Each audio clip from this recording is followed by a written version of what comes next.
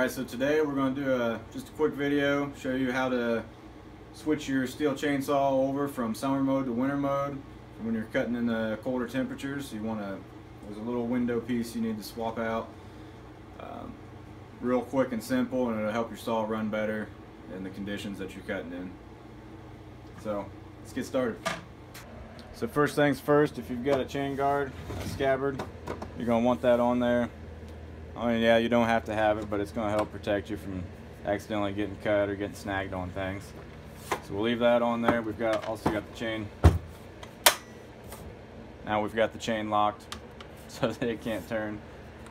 Uh, and okay, so this is a real, real simple process.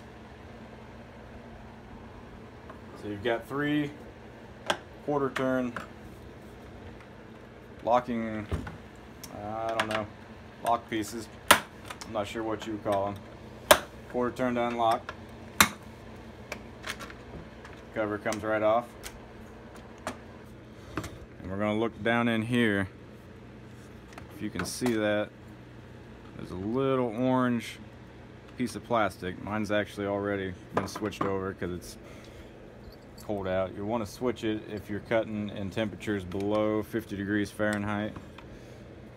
Uh, there it is. Kind of reach behind the handle. Push that out. And you'll see it's got a window and a solid spot.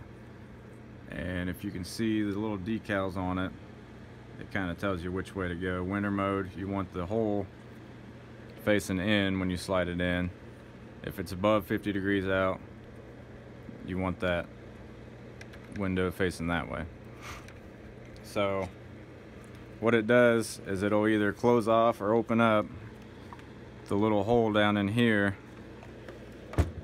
If you've got it in winter mode, it opens that up and allows the airflow around the cylinder. So you're getting warm air drawn in to the carburetor in the wintertime to help it warm up faster, keep it warm while it's running summertime you don't want it you want it to it's hot outside you want it to run a little cooler. Um, you don't need carburetor engine everything warming up quite the same as you do in the winter which is why in the summertime you want it blocked off so that the air can't come through from around the engine. It can only come through you know, around the cover up inside here on the back side this is also a good time to check your air filter. Make sure it doesn't need clean. These are washable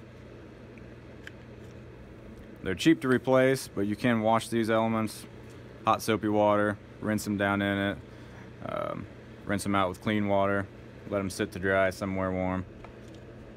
And they're just a quarter turn lock as well.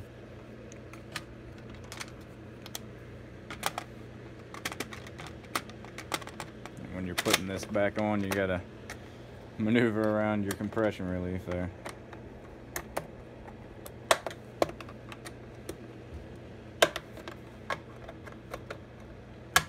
That's all there is to it.